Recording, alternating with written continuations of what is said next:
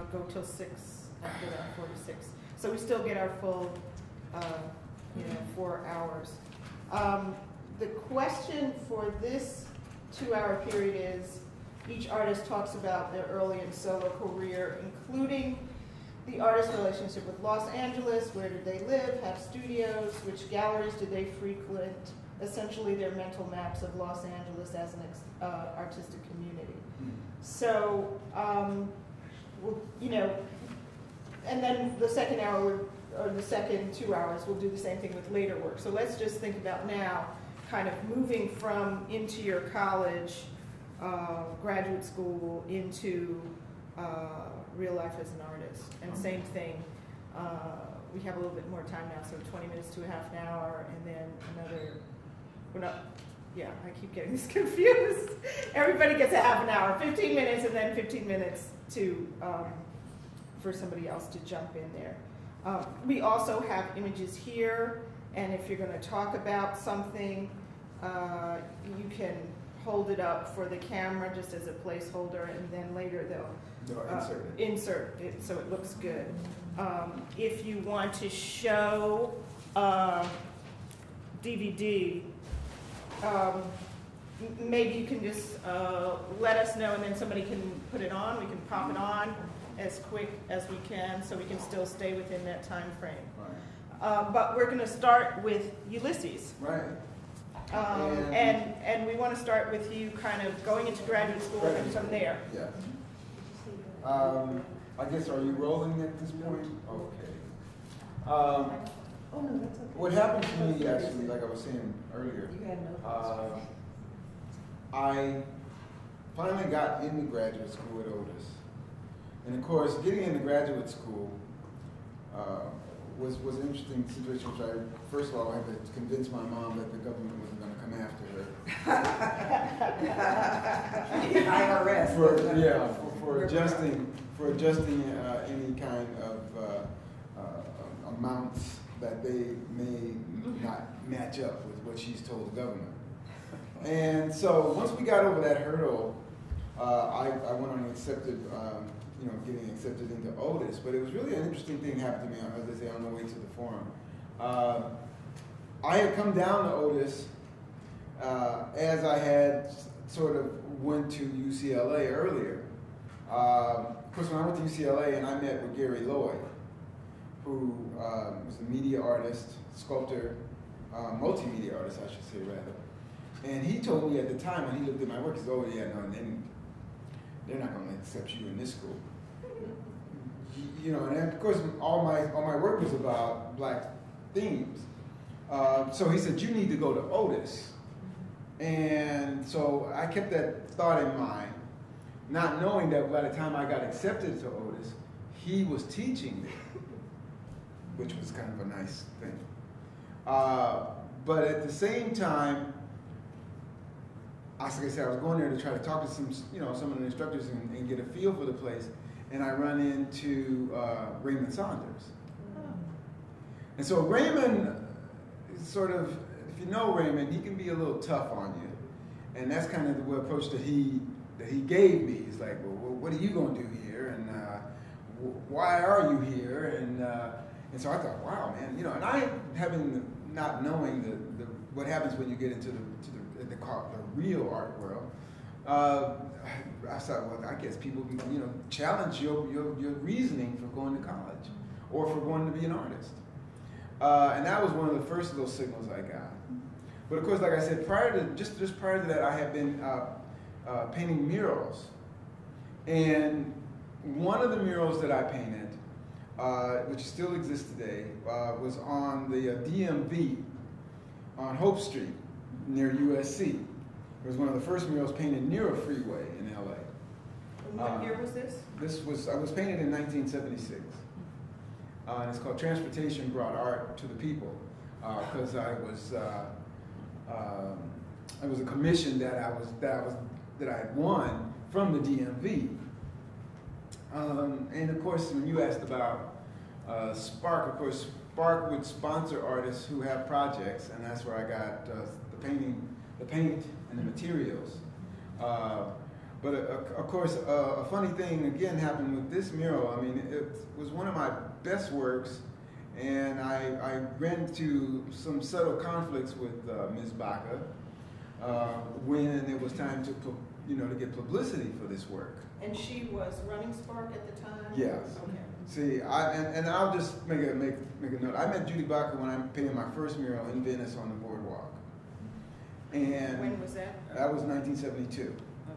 Okay. And I wrote this mural called Rat Trap. And I financed the whole thing, and it was on a head shop, and you know, this whole thing. This was Venice in the 70s. And um, basically, the mural was depicting Los Angeles sitting on this mouse trap, and that the, the smog was, de- was depicted as these skulls, and you know, this whole thing, and these freeways that went into the city from the beach, because the mural faced uh, the ocean. So if you're on the boardwalk, you look up and you're looking east, so it would be like if you're looking into LA. And the, um, of course, the, all the, all the, all the, uh, the plants along the freeway were these multicolored uh, marijuana plants. Um, and I was sitting at the end of the, of the road um, in the thinker position. and of course, nude.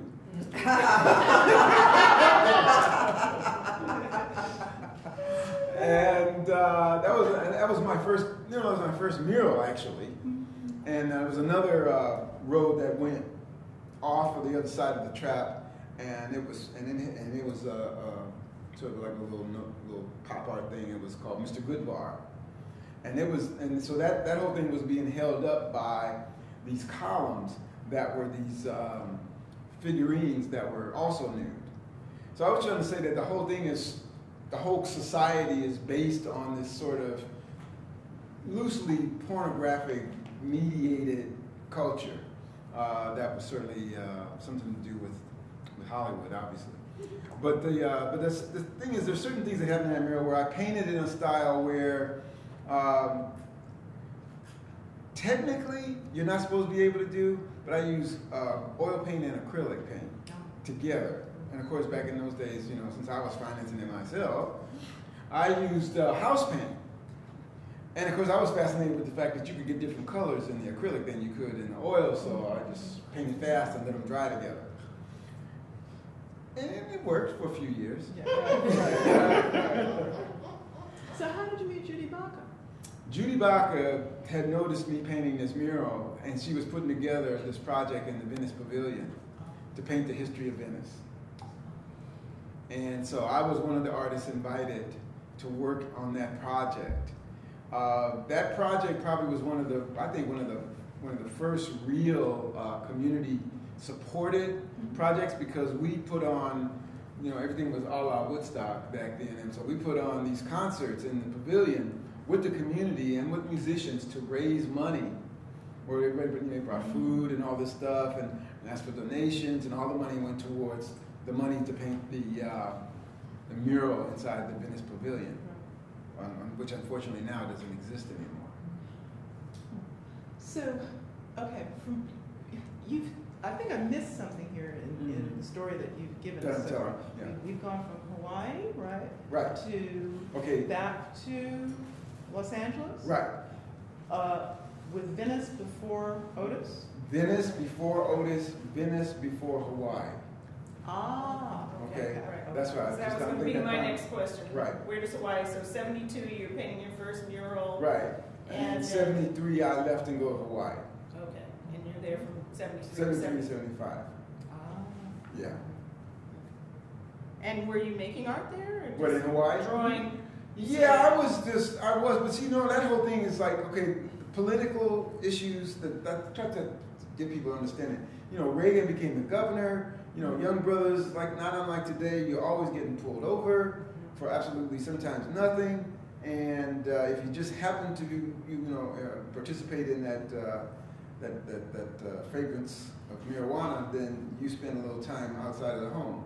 So I I just got tired of getting harassed. Uh, and actually, I don't know if I sent it to the people here at the Getty, but I found this painting that I had painted, and I'm now calling it nothing but the truth. But see, this was, was really it was a self-portrait, it was life size, and it's a it's a painting of myself in the nude standing in the middle of the road. Now you know what I mean. Now this, this has this has this has some significance though, but yeah, yeah, that's significance. But anyway, I'm standing in the middle of the road, giving the finger, uh, standing on the double yellow lines, which was the double yellow lines are represent rules and regulations. And of course, in, in California highway driving, you know, when you have double yellow lines, you cannot pass. So I'm that's that was my image of defiance, if you will. That painting, when I was living in Venice, I took it on the boardwalk because everybody showed their paintings off on the boardwalk back then. The painting gets arrested. Yes. Yes. I mean, some of the old folks in in in, uh, in, in some of the apartments called the man. The man comes, takes the painting away, and says that if I want it back, I have to come to the police station, literally like, and bail it out. And that's what happened with the painting. That's performance and. It- yeah, and and so then and then of course, uh, when I moved to Hawaii, because my mom hated the painting. She wouldn't even let it come in her house, so I couldn't leave it with her. And I gave it, I left it with some friends, and of course I never saw the painting again. But when I came back to Hawaii, so all I have is this photograph of it. Um, so and so that's sort of a part of. I mean, I don't want to go into my my Venice story, but the only thing that did, other thing that happened in Venice, which is important, is that I started shooting video Mhm. because there was a boardwalk, uh, there was a workshop on the boardwalk. Uh, I think guy named John uh, uh, John Baker, and, and then another guy later on called John Hunt, who called himself Doctor Video, and um, they had, these these guys, a guy named Paul Shalcombe, they had come from New York and brought what at that time was called Portapak, and they were letting people rent it out for so that they could pay for it.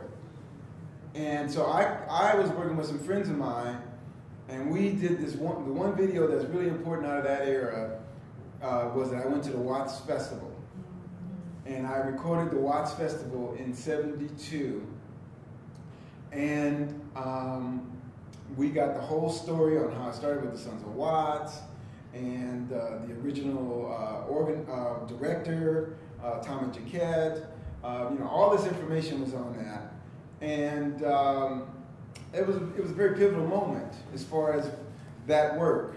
And so, in terms of doing that work, that's why I when I when I decided to go into grad school, I said, you know what, I think I'm going to just go into you know with all the history of painters, I think I'm just going to go into this new media. And so I chose, uh, and for as my my uh, area when I was at Otis, they had this area called intermedia. So I went into intermedia, and that basically is where you could work in any medium, but you had to be able to show your proficiency in it to validate why you're using it. So that so that that's how I started working in video when I went to Otis, and of course, um, while there, I was influenced by performance art. I mean, of course, I'd seen a lot of stuff, but I didn't know it formally as such. Wh- What were you seeing at Otis? I mean, were, was there were there faculty, particularly in the performance area, or performances being staged there? Well, c- see, at the time that I went to Otis was probably around the same time that Barbara was at UCLA. Um, there was um, Laurie Anderson came.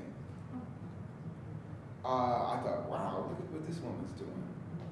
And she was just starting to do stuff with that violin. Mhm. She was showing Super 8 movies while she was performing and stuff. She was still pretty much doing sculpture. And uh, so I thought, well, wow, that's an interesting thing. Uh, and then Barbara Smith came. And the stuff that Barbara Smith was, was, was doing at that time, uh, and of course the story that she gave of her leaving her housewife life and becoming an artist and taking all these challenges, I thought, wow, man, if she can take on that kind of stuff, then maybe I could at least attempt something in performance. And uh, so with the combination of the two, I produced Two Zone Transfer. But Two Zone Transfer was also informed by a class, or some classes, I should say rather, that I took just before I went to Otis at Santa Monica College. I took this one class called Blacks in Films, and I can't remember the, the woman's, uh, so the black woman who taught the class, who, like, so like what you were talking about, about, Barbara, she gave us this whole history of black film and how, you know, Oscar Micheaux and the independent ones and, you know, uh, some of the stuff that, that happened, of course, uh, with the, when we get to more contemporary times, uh, uh, what's the name of that film now? Oh, Guess Who's Coming to Dinner? And Stanley, she brought in Stanley Kramer. And so we got a chance to question him. And of course, I wanted to question him about, you know, how did you, I mean, you created this, this scenario, and I said, and you put this brother in this situation, he's super brother, you know, to be able to, to be the partner of, of, of this, of, this of, the, of his white partner. And I said, uh, in, in, the, in the sense of why did you make him have to base his uh, wanting to be with this woman on whether or not uh, these people would approve. I said, you What know, movie is that? guess who's coming to dinner? Oh, oh. And I said, you know, for the most part, anybody in, in the generation that I came up with it just said, screw my parents, I'm going to do this if that's how I feel. And so he said, that, and which was important, he said, and I think it was probably because about the money. He, he said, I could not create something that I thought society wasn't going to accept. So, and then you look at the timing of this movie, it's just before, of course, Sweetback's Badass Song and the Blaxploitation era, where there is Take No Prisoners and, you know, whatever else you want to say about that era. So, uh, the one thing that I realized of taking that class is that how stereotypes had held the position of not only black actors, but the black character, and how that in a certain stereotypical place, but also how there wasn't there was nobody's really, like I said, until Sweetback, nobody's really creating something that points at freedom for the black individual and how that could be achieved.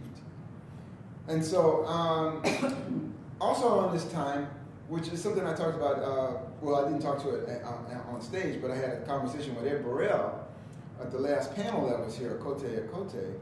Um, I ran into Ed producing one of his pieces at LA City College. And I walked in, and of course, Ed Bereal, you know, doing uh, Black Street Theater and Bodacious Boogaloo and all that stuff. Uh, and as he was telling me, he was telling me, man, we used to bring it to him at the Ash Grove. Um, we talked about these, these images and the images that he had created with this black character who was sort of like a, in white face as Uncle Sam, and actually made him look like a really kind of scary individual, uh, wearing this with this American flag and everything. So I saw this, and he was the first brother I had known of who was working in video besides myself. Later on, of course, I would find out about Tony Ramos, but at this time it was Ed, and so I created this video called Massive Images when I was taking a video class. So I was taking this film class. Taking this, this video uh, class with John Sturgeon, who was a video artist in Venice, and I knew very well. We used to hang out and stuff. So I, this is my first. This was my first performance piece, and again, I still didn't really know much about that other than delivering some kind of uh, message, if nothing else. So I created massive images which questioned the whole idea of what was blackface and what is this uh, ideology, if you will, that gets passed off as comedy. I mean, I think this movie that's about to come out is going to have a whole bunch of these characters in it, uh, called uh, Sunday. Uh, because most of that stuff I've seen in the previews is serious, stereotypical information there.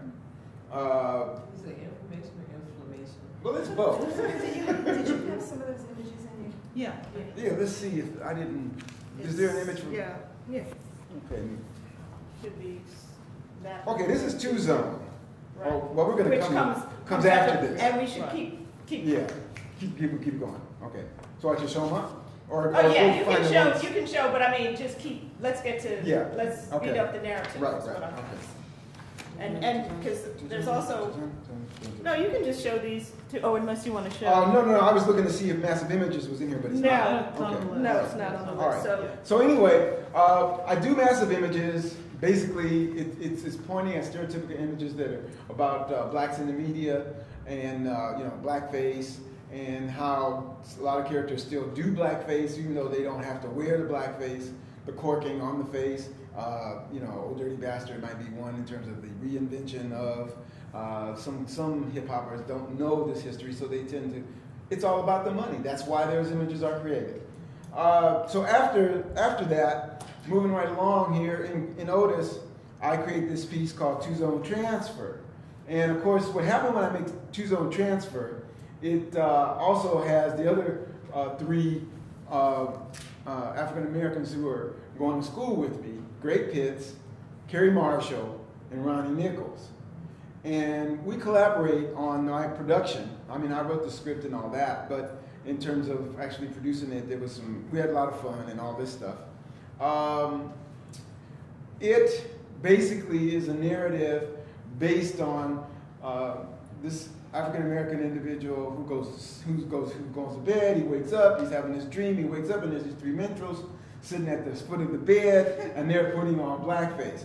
They also happen to have on masks themselves, which are two Fords and a Nixon.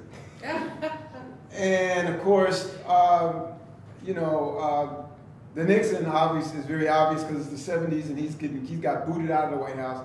The two Fords represented, you know, uh, one in the White House and one in Detroit. So basically, I'm, and they're putting on blackface, and I'm asking them what's up, and they're telling me, well, you know, we've been using your image for a long time. Don't even try to put us down because we used the Irish back in England. So then we sort of go from there to uh, the church. So I wanted to make a, a, statement about the conservative movement that was happening at the early 70s or late 70s, and the, and uh, the scene opens up with Kerry Marshall with the Nixon mask playing a church hymn. And then we break from that to me doing this black preacher thing, and Greg and Ronnie are the deacons, and um, we do this. I do this whole spiel about Noah, and of course the whole thing in biblically about how black people got uh, cursed by Noah because of his son Ham, who laughed at him because he got intoxicated and put a curse on him the rest of his life. And so what I do is just throw the inference in as a little sort of double whammy on the Christian things. Like, okay, if you're saying we're slaves, then I'm going to throw this back at you because of JC. We're supposed to be free of your madness. Um, If you, um, if you give us storylines, we're not gonna get to hear Okay, your I'll stop. storyline. okay, I'll stop. right. Thank you. I'm You got to stop me because I'm get caught up. right, right. I've been doing this for so long now. Can you understand? Yeah. So anyway, this is just a picture from Two Zone, and it just happens to be in the live production of it. I had my niece um, uh, with me uh, as a part of a, a, a musical part of, of, the, of the live performance. Just saying, t- speak, trying to speak to the next generation. Now, I noticed in your filmography, videography, Mhm. that some of the earlier pieces, it seems to me, besides, you know, two-zone transfer and massive images, um, are kind of historical in a way. I mean, talking about the Watts Festival. You have a piece which you call King David, which is about David Right, Hammons. Right. This is that's this one.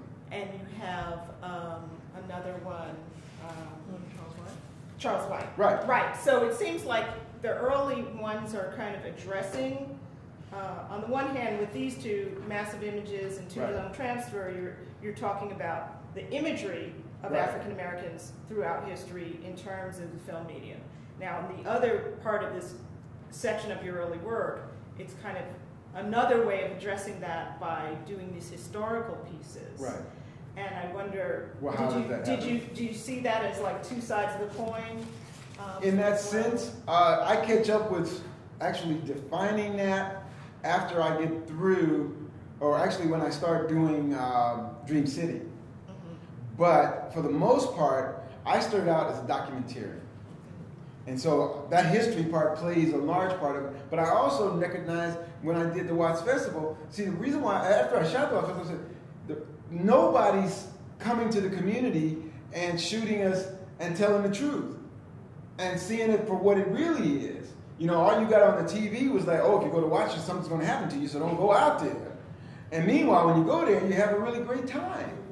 So there was a conflict for me on that level. And of course, going to Otis and actually having the opportunity to study with Charlie, I thought, what a great opportunity to shoot something on him and, uh, you know, his relevancy. Um, but to, to get back to what you're, you're pointing at, after I do two zone, and of course, there's one piece that I didn't. That's not. I don't know if I sent that to these to everybody here, but I do have it on. It's going to be on my website, I think. I did this, piece- this called "Just Another uh, Rendering of the Same Old Problem," and that's my graduate thesis project. And in that project, I I do this sort of piece where I come out. I'm dressed up like a janitor, and everybody comes into this, to the room for the, for, for the uh, performance. They don't even recognize who I am because they think I'm a janitor. I'm sweeping up and all this stuff. So then I take the janitor's clothes off, sit down to a table like this, and I pick up this book and I start reading. There's a monitor on this, on this table. I reach down under there, because I'm reading like there's some instructions. I reach down, pull out this box, put the box on the table, look into it, read some more, put my hands in there, and take out this dildo. And the dildo has a black face on the head. What's the piece called again? Just another rendering of the same old problem. And so then I start to scream, no, no, no. And I get up, grab a, a, a prop, but it's a, it's a gun, and I start shooting at the dildo. Because basically I press the button and the dildo's doing its thing. So I'm starting to shoot it, and there's a camera focused on the dildo so that you see the dildo in the TV set. So this is this whole statement is about the black male as a sexual object, right? So then I, as I'm saying, no, no, I take off my clothes, and so I, I've got on pasties and these little silk drawers, right? And this is a graduate school production. Right. This is what graduate school does to me. I'm telling you. Well, I'm going to school with all these feminists too, okay? So the feminist movement's going on. So anyway, uh, so after I shoot the thing, so all the time I practice this piece, I never shot the dildo. In the piece, I shoot the dildo. The dildo falls over, and the face is looking straight up at the camera, and so you see this head going like this in the monitor, right? So anyway, long story short, the piece ends when I turn off the dildo and walk away, and that's the statement. You can't stop this thing. All you can do is walk away from it. So anyway, so that was that was that piece. So then after I do that piece. I um, do inconsequential doggerel. In between, actually, I do inconsequential doggerel, and I no no no no no no. Okay, I'm going ahead of myself. Okay, But about that time. I'm, I do I do uh, Columbus Day doggerel. But, but maybe rather than going through each piece. Yeah, yeah, I'm gonna go through all the we're- pieces. We're, we're running out of time. Time. Did we, um, didn't we k- kind of hook up then, all of us? See, around this time when I when I had done the Watts Festival tape, Mm-hmm. I was in New York getting it shown at a downtown video festival, downtown community festival, and I ran into you in New York. There was some show that you were having, and I think uh, um, Was it a jam? she says, uh, yeah, Just above midtown? yeah. She says she says you, you might have had a show just above Midtown. Because this is about 1980. This was yeah around 1980 or so. Mhm. And I met you, and we said we'd hook up when we get back to LA. And I think when we hooked up, you introduced me to Senga. Uh-huh. And then after that, I did this piece on a, my, a small piece at my studio that I just got from, from Kerry Marshall called Adams v. Doggerel. Okay. And yeah, you do remember? I think I do. Yeah, you and I and Senga. Senga was Senga was dressed like this Orisha, and I had I had, the thing was I was testing the boundaries between the audience and uh, the performers, and the, the, the audience became the performers, and vice versa, and we were digging in this earth to find this little uh, glass pyramid, which was a symbol of self. Can you find yourself? And You did, there, there should be an image of Is there? for Ad- for Adams v. Dog. oh really? Okay. I, I, I want to ask you generally. um, Yeah, here's the. Uh, you know, as you move from this kind of history, dealing with the, the stereotype images that kind Right. of comes out of your, in a way, comes out of your graduate school experience, uh-huh. dealing with the history of African Americans, but through artists, then you get into this kind of, how should I describe it?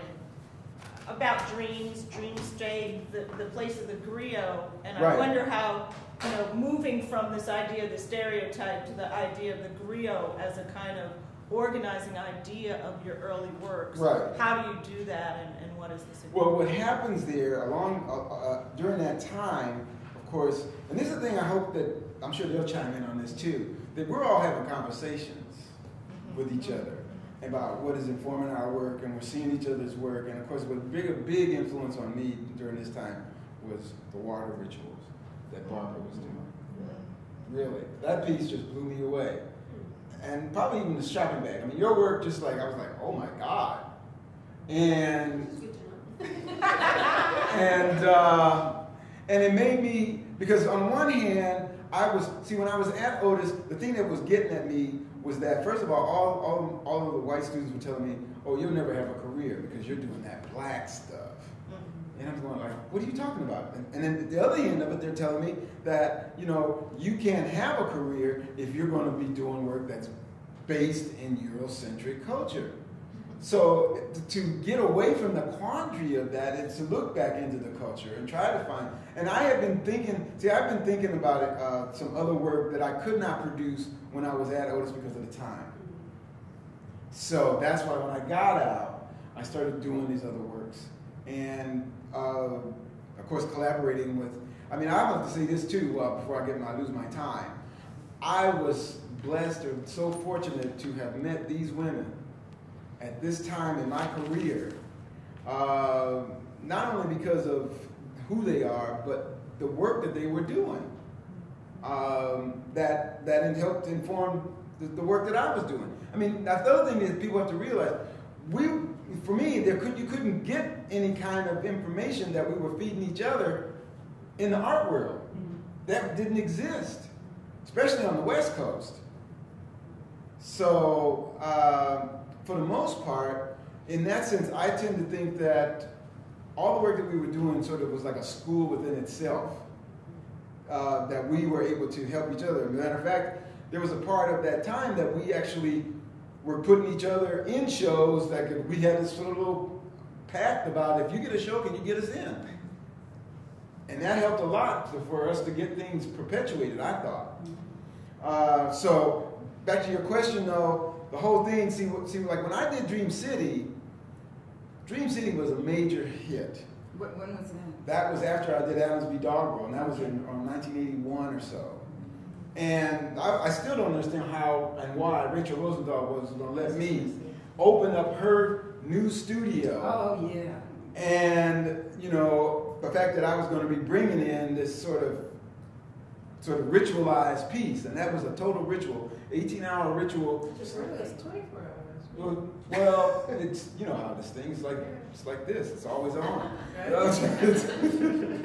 well, can you say a couple of words and then, sorry, but we'll no, come no, I know back you to it. it I know. in the, in the I last remember part. Yeah. I remember Um, that. Yeah, too. that- But just say a couple of words about it now. And What's that? Dream City or Oh yeah, yeah. I'm your talking about. I would say I would say that for this yeah. area because Dream City is, is very pivotal Okay. because basically I use the context of, of, of ritual as well as media, as well as you know live live performance, live performative kind of things, and then I tested this whole thing about audience and boundary, because you know at the end of that piece, Barbara walks in with Don Cherry. I'm in the I'm in the middle of the piece nude, and where everybody's singing happy, and, and she brings a birthday cake, and everybody starts singing happy birthday in your birthday suit, and then of course the other thing, Senga and I have birthdays uh, one day apart, and we tended to start doing performances on our birthdays, which was always a celebration for the both of us. So that was sort of interesting uh, in the way that we worked. So. Uh, uh, woke us up, got us over there at four o'clock in the morning with a dead, rotting cat. Exactly. I was so With scared maggots. cat. And I was like, don't. I know. But the thing about see the thing about that the, see uh, the, the whole thing about doing the rituals was you had to have a metaphor, and so I was trying to say what am I going to do for this piece? And that week when I was going home, this this black cat got run over and it was just laying there, and I said, you see there it is, got run over by technology. Nobody is going to pick it up because they're afraid of the taboo. There's my metaphor. So the thing was, that one thing is that happened early in the week. So I had to store the cat for about bag. yeah, for about about four days or five Oh. days or so. So that when I brought it out, oh the aroma. Oh, man. And of course, when I brought that cat out, the thing about when we started that piece, the piece started at six in the morning, and I didn't think anybody's gonna be there. There were like these three nurses that were standing up there. I said, "Man, this is sort of cosmic." And they're, you know, I'm there with the cats. I'm new, and she's and the and the nurses are going, "Don't let the maggots get on you! Don't let the maggots get on you!" Right. They hop. Some they, they fly. Something like that. Oh, Lord. And so, you know, I mean, that's that's that's a little bit of Dream City because the thing that was really fantastic, 15 minutes performance every two and a, every two two hours and 45 minutes, and as the as the the pieces were recorded, they were played back for the audience who could buy, you know, maybe pay one admission, go and come back. So that by the time midnight came, there was this incredible video there that caught everybody up to what the piece meant and what was going on. So that by midnight, like I said, all the performers came back. Singer, Singer Maren came down and sang was in costume and everything, and the whole thing just broke wild. It was, and it's on tape if you want to see it. Um, Rachel. Well, let's stop coming here. Let's, let's go to Barbara, because this whole idea of the ritual that you're talking about Right. and the influence of women in ritual and the influence of uh, shopping bag, well, water ritual is the one that you Yeah. at I'll first. one thing about that, that also uh, Ulysses did a lot of multicultural things. So it wasn't Right. just black people. That's right. I should have said that. Yeah. That, that- okay. Actually, Dream City was probably one of the biggest, I think, first multicultural performances in LA. Um, and there were people from all different cultures contributing to the expression within the piece. Uh, and the piece that I really uh, want to make note of was the one that uh, Nobuko Miyamoto did, Oh, no. called uh, uh, "Sleep All Sleeping Women Awake and Rise." It was incredible, and of course, if you don't know who she is, she was in Walk on the Wild Side. She was in West Side. Oh, West, yeah, West Side Story. Thank you. She played. Puerto Rican. Right, West right, But she's Japanese. yeah. So, uh, so that was, you know, and, and that piece is like really beautiful because when she does it, Senga and Maren come out and join with her. So uh, that was one of, there was a lot of significant pieces in that piece, but that one I want to just raise. Okay. It's beautiful time. Well, let's uh, Yeah. go on with Barbara, and I'm sure there'll be some more overlap. And we can get back to you, too. Okay, I, okay, Ulysses brought up a good point about, you know, ritual and the importance of ritual. I think it came from my Catholic background. And also looking at Catholicism and saying, well, okay, Catholicism has incorporated, you know, things, more cooperative things from different spiritual practices. Okay, and which is why, you know, you know, the, the chanting, the incense, the hitting of, you know, I, I want to say gongs, but I'm, I'm not quite sure where I got that from. But it comes from somewhere, you know, in my past in terms of dealing with Catholicism. And these things were, you know, became very, you know, active in my consciousness. And, and at the same time, I was like discovering who I was as a Korean person. And I wanted to, you know, to really cross paths with other women who were doing, you know, artwork. And I wanted to basically have some kind of um, uh, way of, let's say, okay, fine, let's dispel anything had negative with us in the past, that we can like, you know, come together. And so at Barbara O's house, who's an actress, who's in a lot of the early films, we have this kind of gathering at her house where different women were like, you know, invited. And uh, basically, everybody was asked to bring something that was symbolic of, uh, of uh, an important thing in their life. It could be a thing, it could be a picture. For my, um, my case, it was a picture of my grandmother who I'd never met, but who at the time was so much around me that it was really overwhelming. She died when I was 12 years old. Well, anyway, that was like the beginning of it. And um, one of the women who had come to that, you know, I talked to her later, and she was saying that her husband did not want her to actually ever participate in anything like that again because, you know, it was negative, it was, you know, it was questionable, and, and it really like shocked me because I'm going, this was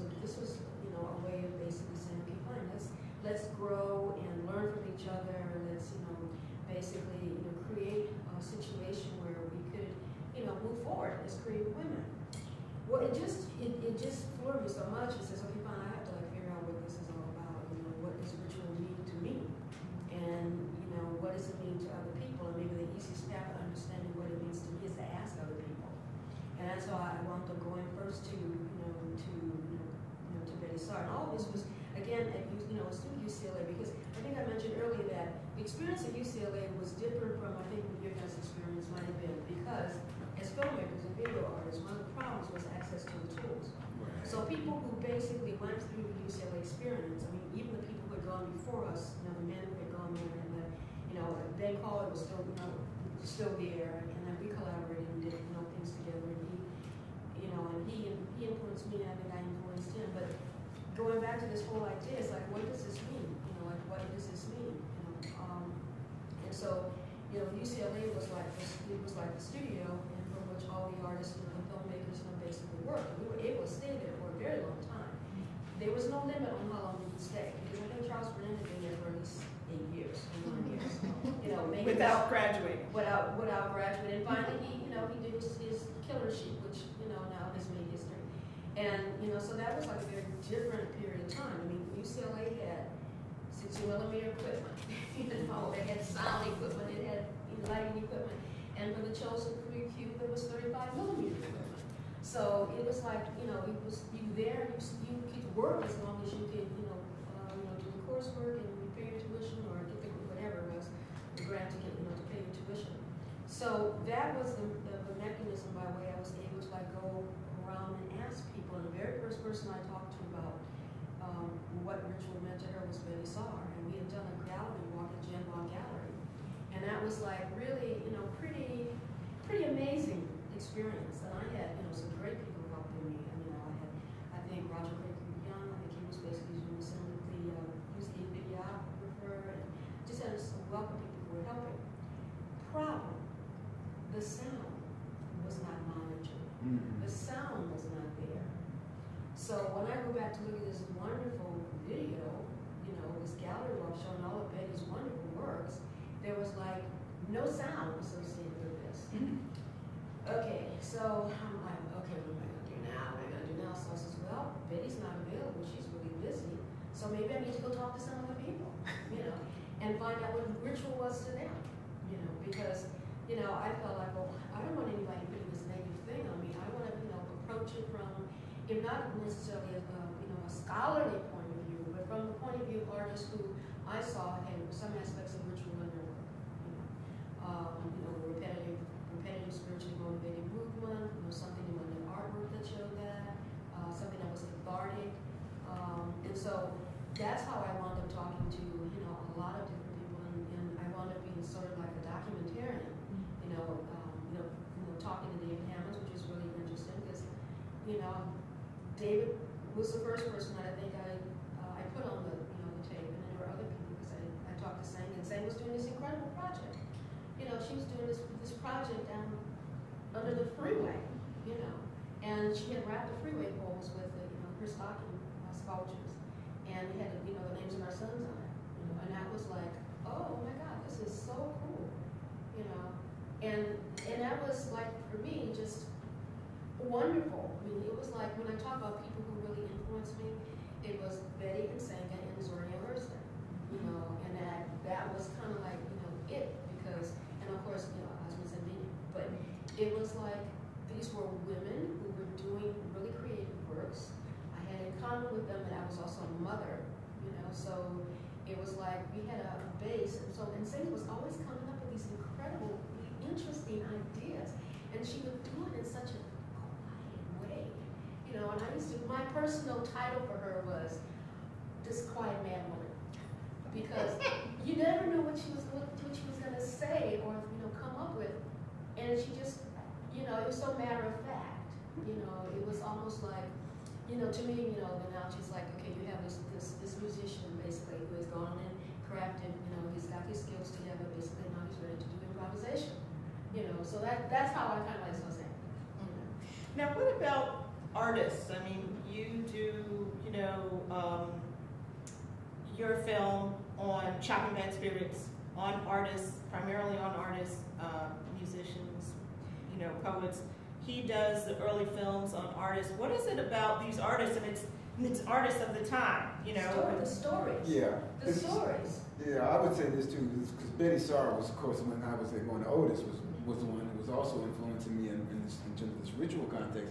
But the stories, believe me, the stories that Charles White used to tell me when I was going to Otis, I mean, they were fact absolutely invaluable. And so were the ones that Betty Saar, said, said. But see, the thing was, to get the opportunity to get the relationship, not unlike what we're doing now, on a, on a regular basis, was so invaluable. Like I said, there was no outside sources to feed this. Let's just get it real here. To feed blackness, you know. And for the most part, the reality of where we were coming from, from the social realities that, that we were going through in the era uh, about freedom, we were defining our freedom not only individually but culturally. And to define our cultural freedom, what became a real, real issue when you were being told, "No, you ain't coming in these galleries." And, and um, if it wasn't for Barbara and Greg Pitts and people Yeah, like right. that, that were willing to write about us and document us, we didn't exist because high performance. Right. Now Ulysses was hooked in with, I won't say any names, but you know, we never got in that perform. You know, Oh, oh well, yeah, well, no, well, see, see, that didn't, that didn't, see, but that didn't help me get into high that's what performance. I'm saying. That's exactly what I'm saying. I mean, hooked into this stuff, but I mean, I got in high performance because I wrote the reviews. That's that's that's how high performance They never- functioned at You that wrote the reviews of your own pieces? That's how High Performance Magazine functioned when you when Okay. it first started out. If you as an artist could write at least a sentence that said, I did this on this day, they would publish it.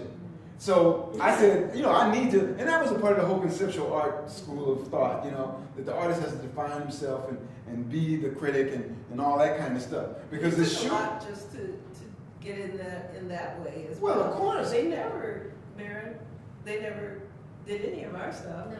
ever. and, and, and, and, even bother to talk. And I just want to add to that, but but when and you can have it back, um, Miriam. But, but see, when they did start having people writing, they did not write about us. So That's now, right. so so go ahead. Well, I was just gonna say, the only person I ever remember writing about anything we ever did was Francine Farr. Oh, Yes. Oh, well, Yes, right. exactly. And, Yes. and we were really trying to cultivate Francine Yes, exactly. to help us get this out there. And it wasn't it wasn't hard to cultivate her, she was interested. Yeah. Yeah, I know, but I'm just I'm just making it. But she had, saying it you that know, way. she had a, you know, a logical interest in what Right. we were doing. But the the art, you know, the majority art world, you know, just wouldn't have it. But that's why and we're- that's including feminists. And that's why we're here now because they didn't see our Yes, work yes. as anything, especially not avant-garde. No. Well, it was very racist Yeah, well, it's- and In a exclusive, liberal kind of exclusive. way.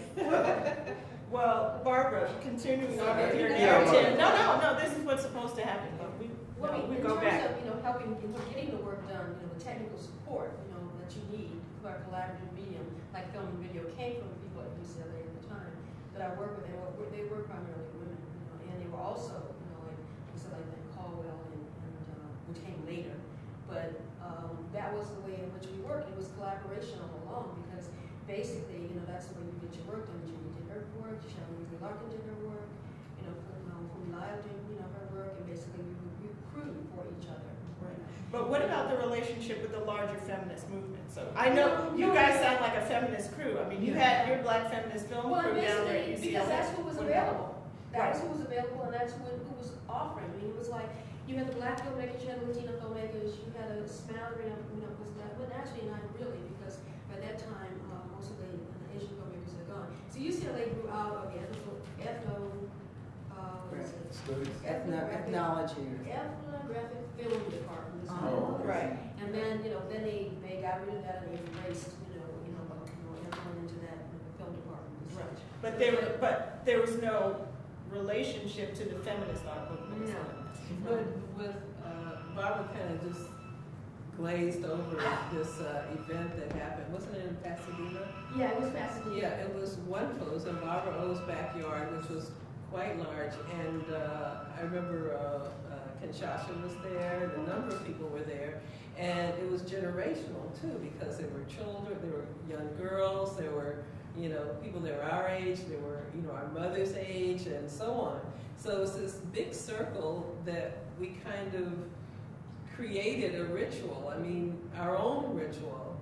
And so there was this power circle, which is probably why maybe that person's husband, so excited. But there was this, I can't describe the power of all of these women coming together, certain, you know, of all ages, and there was just an energy force that was created in this circle. So that is a feminist thing. I mean, you know. It was Right, all but I'm, but I'm asking about the relationship to the, Right. To the larger feminist art movement as we know it, that's being celebrated for the Right. last year Right, with shows like WAC and, Right, right. and so on. And- Right. And so I'm just wondering, you know, besides the women's building, And the women's building was a whole other story. Yeah, that was a whole other thing. Mm, yeah, But it was, it was really, you know, like the movement itself, in the broadest sense of the movement, it was an upper middle class white woman movement. Right, well, I would say this as a, as a guy watching all these sisters, you know, the way, you know, you come like, man, look, the sisters, they get all this power, and they putting together, you know. Uh, and, and so, I mean, in a, in a way, I mean, especially when you said Barbara Oh, because she was, she was a very tall sister in Yeah, stature, tall, and, and, and, you know, she really stood out, and, uh, and And she so, was an actress in some very powerful films. Yeah. right, Of Daughters. the. Mhm. But, um, and also It's before cold that, it was, uh, I'm freezing. Be- before that was Bush Mama, and also, and Right. that was a very, you know, powerful film that Haile Gerima made. right, You know, and, and, and basically, the, the politics, I mean, politics were very much involved in filmmaking at UCLA, um, until about the early, I would say like, you know, like seventy, oh, the mid seventies, okay? And it was interesting because there was, um, um, everything seemed to have to, to be accepted, you know, as a black filmmaker, you have to have this, this real heavy duty message within your, you know, your film, you know, your, your projects, and it was like, because I used to call, you know, Haile, um, Gerima, you know, he had, he was a part of the Sledgehammer School of Filmmaking, because the message was there, it was direct, it was in your face, you know, and it was, and it was raw, you know, it was very, very raw. And I just didn't see myself making, you know, doing projects like that. I, you know, I, I guess I had a different touch, you know, and basically I didn't feel like I needed to be quite that overt in my message, you know, in terms of what was um, important for me to you know, portray or for me to, to basically use as a vehicle getting my, my, my point across. And also because of the time, I felt like, okay, this was the early 80s, okay, and there was a lot of stuff from the 60s and the 70s basically that did not work, you know, and, you know, I felt it was a time of, you know, of introspection as opposed to, you know, just, you know, being overt about, you know, your message. And, you know, things need to be clarified within in order to really get your message out, you know. And so my approach is really different, and I think some other you know, folks' approaches are really, really different. And so knowing these people basically helped that because I could, you know, see what they were doing. And the message was, in some cases, much more subtle than what I was used to in getting into the, the you know, support environment. You know. And then as that support environment changed, like I said, the women who had come into um, to making filmmaking. Julie, Julie's project, um, Diary of an African Nun, which is based on a short story by Alice Walker, you know, that was really you know, very, very interesting, interesting. And I was also, you know, kind of intrigued by what you could do with Grass Valley Switcher, you know, which basically, you know, that was very, very cool to me to be able to go and, you know, have solarized images and, you know, and at the same time colorize things and, you know, have, have like a, a palette of color changes through things. And it was, and it also it had to do with, you know, emotional states, the colors basically um, symbolizing emotional states. And so that was something that was, for me, very important to show because again, it was going through that whole cathartic thing, they're going within, you know, and also giving a bit of what the story was from other people, basically, who had um, had an had ideas that I thought was similar to what I wanted to explain and also understand, because it was really about me. So this is why Zora was so you know important to me because you know she went into these different communities basically and was able to extract you know the beauty of, of, of those you know communities and basically you know, put out in her own words.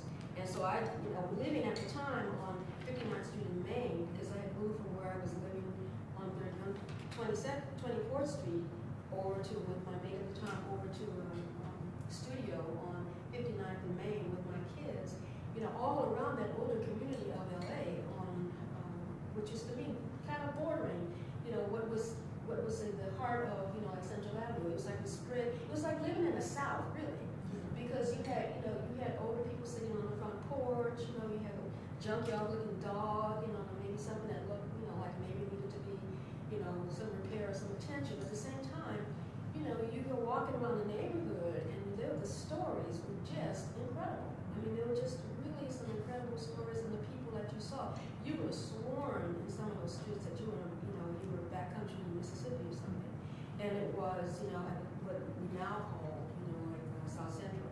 But it's like, you know, that, I have real serious problem with that term. But anyway, you know, it was where um, old, a lot of older black people lived. And so there were stories. You know, there was always stories to tell. And I was also interested in old journalism a little bit too. So that kind of like coupled, um, you know, my interest in, you know, um, you know, finding out what people were about. And I guess I just had sort of like a natural, I have like a knack for talking to people and finding out what they're about. And so it sort of like naturally flowed into, um, you know, the work that I wanted to do. But at the same time, I, I was, I had started a film called, called Fears Don't Have. And that film never got really finished because I got really energetic because I said, oh, okay. I had gone to New York the time that, that, um, that show at PS One. Afro-American abstraction. Yeah, okay, and then I wound up going to DC and I had met James Phillips. And I had gone to New York specifically to work on a project called Who Are the New Jazz People? And this was like in nineteen eighty. Well, they weren't actually new, they weren't exposed to a larger audience. And I was trying to deal with the idea of, you know, um, music artists from LA, from St. Louis, um, in Chicago, and how people wound up leaving and going to New York. you know, to You- You're basically- talking about James Phillips, not the artist. Yeah, The artist, James Yeah, Phillips. right. Oh, okay. yeah, and, and he had, you know, basically, we had talked a lot, and, you know, and he helped me, I, I went and talked to Max Roach, I talked to other people to basically get them, uh, to support this project, because I was gonna like submit, you know, uh, you know, grant proposals to order funding for it.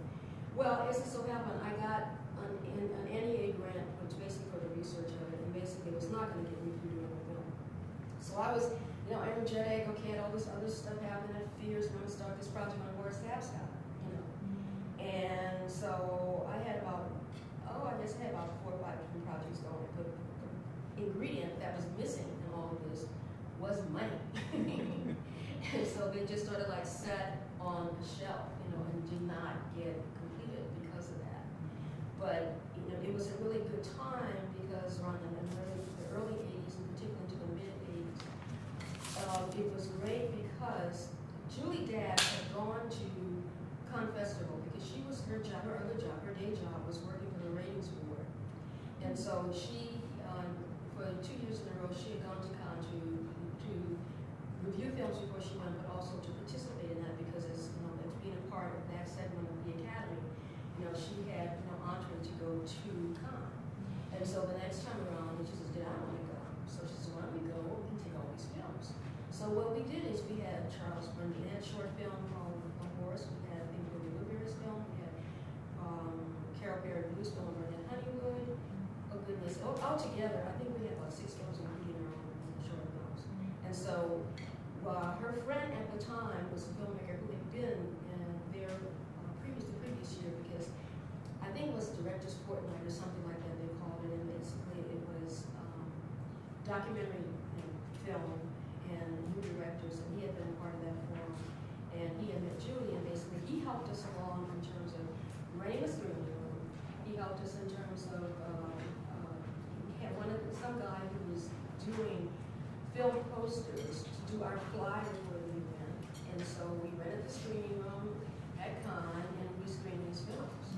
And it was, it was a great experience. It was a, you know, really, really great experience because at Cannes, you had like, you know, a population somewhere to five thousand journalists.